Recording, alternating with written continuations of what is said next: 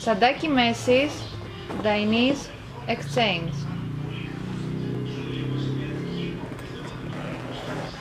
Διαθέτει μία μεγάλη τσέπη μπροστά και μία δεύτερη στο πίσω μέρος πιο μικρή. Στο πίσω μέρος υπάρχει ένα διχτάκι το οποίο δεν αφήνει το σώμα να υδρώσει.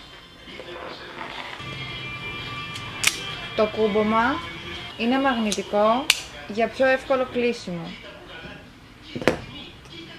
Βγαίνει σε δύο μεγέθη, σε μεγάλο και σε μικρό.